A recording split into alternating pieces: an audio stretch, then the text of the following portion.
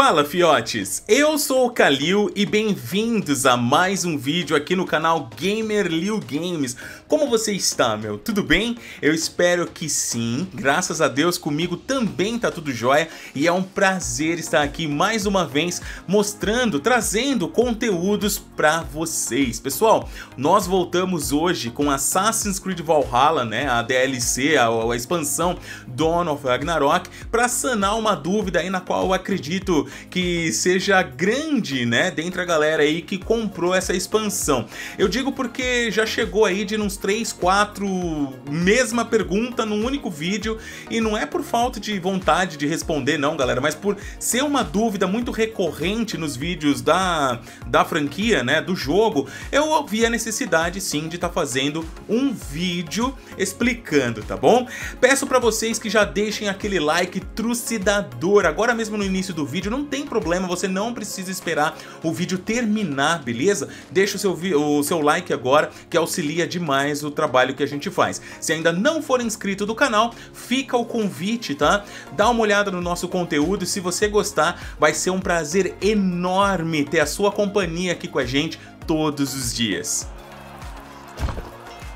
Bom pessoal, como vocês podem ver ali no canto inferior direito da tela, né, nós temos ali no HUD novas opções mostrando quais são as mecânicas né, do Strain Ruger. Ah, vocês já sabem como funciona, vocês já viram aqui, mas caso você não tenha visto também, temos aqui um vídeo explicando sobre a nova mecânica, a nova grande mecânica né, de gameplay de Dawn of Ragnarok. Bom, vocês podem ver aqui na tela que no meu caso eu tenho três opções de poder, certo? Eu tenho ali o poder do Yutun, eu tenho o poder do inverno, tenho o poder do corvo também.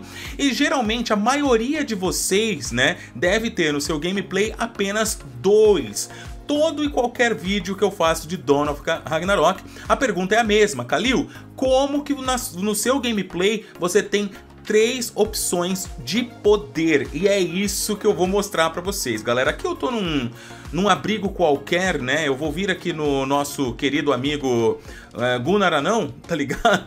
Vamos lá. Você tem aqui a opção de melhorar a Stray Ruger, beleza? A opção que eu habilitei para ter um novo slot, né, com poder, é esse aqui, galera, ó. Tá vendo aqui? É esse cara aqui, ó versatilidade. Desbloqueia um terceiro espaço, permitindo que você armazene mais poderes. Pô, Kalil, mas eu nem sabia que tinha essa outra opção aqui embaixo, cheia de recursos tal. Pra mim só apareceu essa daqui, né? Pois é, galera, você precisa upar esse cara beleza? Você precisa upar esse roubo de Ruger para abrir esse novo slot, né? essa nova gama de possibilidades para vocês, onde tem a versatilidade, você tem a eficiência, que aumenta a quantidade de Ruger que você tem né, ao matar os inimigos, beleza? Tem aqui o sacrifício, ele tá dando um comando ali, ó, uh, e sacrifique uma grande parte da vida para repor totalmente a Ruger, que é o que acontece hoje quando você vai lá... Uh, nos altares né, da Yggdrasil.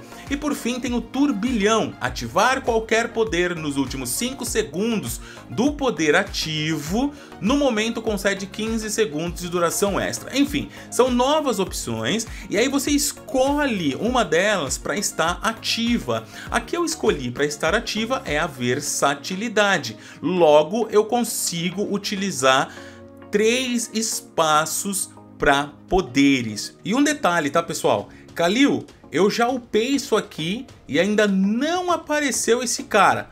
Beleza, se aconteceu isso com você, foque em liberar todos os demais poderes, tá ok? Se não, se no seu caso, quando você liberar aqui o roubo do Ruger, ele não aparecer essa opção, continua focado em obter os poderes e a melhoria dos poderes. Em um determinado momento, cara, que você já tiver upando X, tiver upado, né? X desses dessas opções vai abrir, galera, vai abrir, tá? O que eu preciso para upar essa opção, né? O que que eu preciso, cara? Galera, é simples, é esse material. Brasa de Muspelheim. Olha aí, um pedaço ainda fumegante do reino de Muspelheim, nas mãos de um anão ferreiro decente, pode ser usada para algo bem especial. É possível encontrá-la ao explorar os monólitos de Muspelheim flutuando acima de Svartalfheim. Sacou, galera? Sacou? Sabem aonde vocês encontram? Já tá falando aqui, meu. Se você olhar no mapa do jogo, eu vou sair aqui, ó. Vamos lá. Se a gente olhar no mapa do jogo, a gente, se você, ó, dá uma pesquisada, dá uma fuçada, você vai encontrar esses caras aqui meio perdidos, ó, tá vendo aqui, ó? Olha aqui, é um monolito flutuante, tá vendo que ele não é ligado ao mapa, ó? Esse cara aqui é um monolito. Mais aqui pro lado, ó, mais um. E cada um deles, pessoal, tá vendo que tem uma joia, né, uma riqueza Cada um desses monolitos vai ter uma pedra daquela de Muspelheim. Olha aí, aqui, ó, aqui, tá vendo? E é legal porque assim, todos eles não ficam tão distantes de pontos, né, onde você pode subir, tá vendo aqui, ó, subir e chegar até eles. A maneira mais prática de você estar tá fazendo isso, a maneira mais prática não, né? A única maneira de você chegar até eles é utilizando o poder do corvo. Detalhe, faça isso, tá? Faça isso quando você tiver duas vezes a barrinha para você conseguir chegar até lá. Senão você não vai chegar. Eu vou mostrar para vocês na prática como que isso funciona. Bora lá. Aqui em cima, ó, eu já tenho uma delas, tá? Um dos monolitos. Se eu subir com a Sunin e der uma espiada, olha lá, a peça tá lá, tá vendo? Então é aquele esquema, meu, como eu falei, só voar até lá. Lembrando mais uma vez que você precisa ter, né, todo o, o Streinruger upado, pelo menos no quesito, né, de mais uma barrinha para você não chegar até metade do caminho e cair.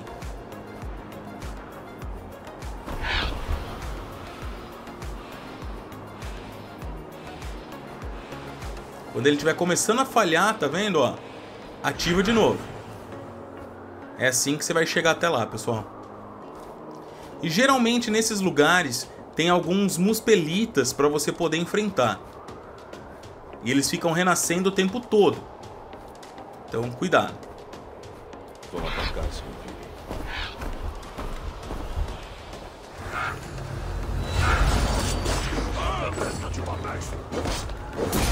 Aí já era.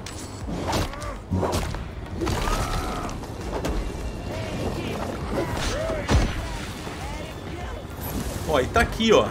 Só vir aqui e pegar, tá vendo, ó? É essa belezinha aqui que vocês precisam pegar, pessoal. Não precisa ficar aqui pra lutar. Busca Ó, pega e sai vazado. Sacou? pega e sai vazado. Não há necessidade de ficar lá não. Até porque, né, você só subiu lá pra isso. Ó, agora, olha aí. Eu tenho aqui duas, certo? Eu posso escolher, eu posso adquirir outra coisa.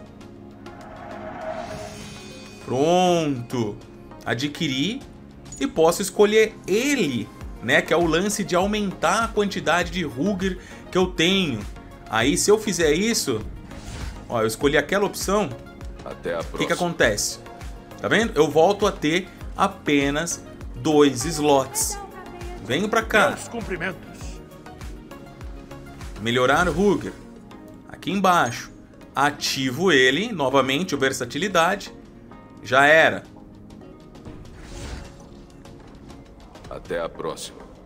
Tá aqui os três slots novamente, tá, pessoal? Então é isso. Espero ter sanado a dúvida de vocês. Basicamente é ali a opção que vai te dar um acesso a um novo slot, tá? E para é, liberar ele, vocês vão upando a Stry Ruger ao máximo, tá bom? Até surgir aquela opçãozinha ali de baixo para você escolher a versatilidade. Pessoal, é isso. Espero que vocês tenham gostado. Se você se sentir à vontade com isso, confortável, né? Siga o Lil nas redes sociais. Vai ser um prazer ter você lá pra gente poder debater e tal, todos os dias sobre sobre as novidades desse game e de outros também. Um forte abraço, tudo de bom, fiquem com Deus, até o próximo vídeo se Deus quiser. Valeu!